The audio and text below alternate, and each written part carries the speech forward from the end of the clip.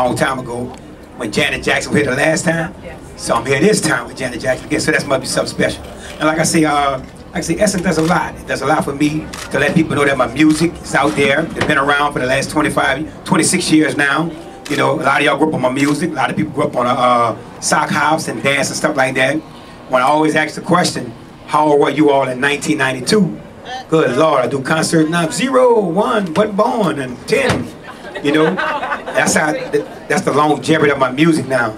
And like I say, uh, for us, uh, for just keeping bounce music alive, just you know, let people know how we had fun back in the days in the '90s, and how bounce music changed my life, opened the doors up for me, for as uh, school, for as jobs, for as talking to people, for as helping young kids, but for as changing mindsets, you know, a whole bunch of things. So, you know, Essence deal with a lot of positive things. My music deal with a lot of positive things.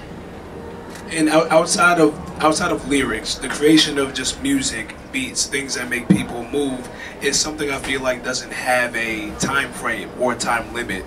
Many, you know, artists are able to. Some of them have expiration dates. Some of them can't keep up with what they've created. But specifically with you, how does it feel to be able to just exist in a space where your creations don't have any? Um, they're, they're not caged. They don't have any limits. And that's what made bounce music back in the 90s was we we did it and we did it from the heart we did it to where it's that this is how we represent the neighborhood the community this is how we represent the street we from the school and the music just took on especially when i created a lot of dancing a lot of people don't know this i used to watch soul train all the time remember how they come down soul train somebody doing this dance somebody doing that dance somebody doing this it was always different and you want to see who gonna do something next and when i pictured myself doing this music and i got into it i said man you know what if I can put a bunch of dancers on a song, it's gonna work. But didn't know it was gonna do that.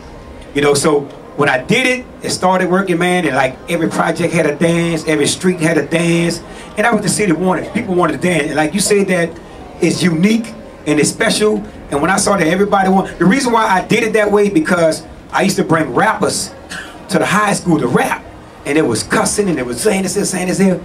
So all of a sudden I had to recreate something. So we started the Jubilee All and we started doing the Beanie Weenie, the Lala, Casey and the Elder Lord. And once I put that song together, and it came out to be, I say, Trigg, stop talking at it, and buy Jubilee his outfit. I want a white t-shirt, some khaki pants, some all-stars, and some money for the dance. And y'all know what's so crazy about that? I was outside of the ballroom one day, listen to UNLV music and, and put it together, and guess what I had on?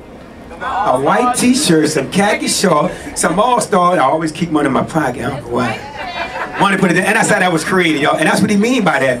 When you create something, it just lasts. You don't have to, you know, some people, they'll, they'll struggle hard to try to make up things and try to make it work. Stuff just came natural. When you do stuff naturally, and sometimes it's gonna work, it's gonna work, and sometimes it's not gonna work. And I saw the longevity of my music over the years, man, and that people constantly, they want to dance. So that's why I kept my method of dancing. How do you feel about this? Because for long, for a long periods of time, there are these cities and these areas that have a specific sound. DMV, you have go-go. New Orleans, you have bounce. Mainstream artists now are coming in. Bounce music in particular is is is going mainstream because artists are coming. They're sampling records. They're studying it, and they're you know they're infusing it into what they, their sound is. Do you are you a fan of that? Do you feel like it's being done properly? Do you have any Do you have any comments? Uh, it's it, it can go either way.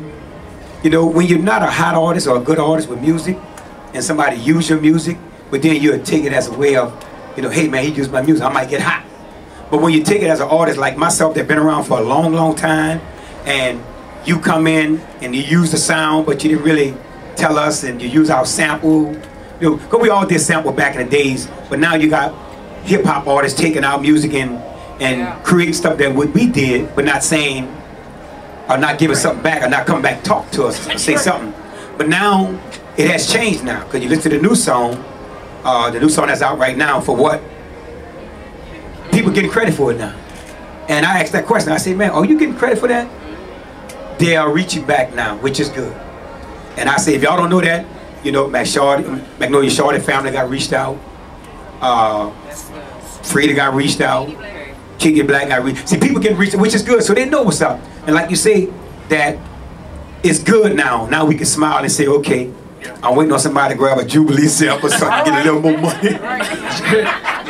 You know, And that's what it is. It's Yeah. important for you, people, you know, Exactly. for you to be in these settings where you can continue sharing your story and sharing what you're working on. That way, people know where it's coming from, and it's Correct. not and it's not quiet. It's coming from the source.